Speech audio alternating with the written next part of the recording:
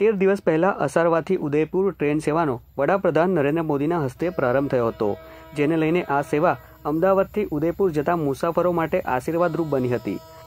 આ દરમિયાન ગત રવિવારે રાજસ્થાનના ડુંગરપુર નજીક અજાણ્યા શખ્સોએ ખારવા ચાંદ અને જાવર રેલવે સ્ટેશન વચ્ચે આવેલ બ્રિજ પર રાત્રિ દરમિયાન બ્લાસ્ટ કરી રેલવેના પાટાને નુકસાન પહોંચાડ્યું હતું. બનાવના પગલે જાવર પોલીસ કાફલો ઘટના સ્થળે દોડી આવ્યો હતો. જ્યાં વહેલી સવારે અસારવાથી ઉદયપુર જતી ટ્રેનને ડુંગરપુર નજીક બાર વાગ્યે અટકાવી દેવામાં આવી હતી અને મુસાફરોને બસ મારફતે રવાના કરવામાં આવ્યા હતા. પોલીસ સૂત્રો દ્વારા જાણવા મળ્યું હતું કે આ મામલે જાવર પોલીસ સ્ટેશનમાં ગુનો નોંધવામાં આવ્યો છે અને સમગ્ર તપાસ રાજસ્થાન એટીએસને સોંપવામાં આવી છે.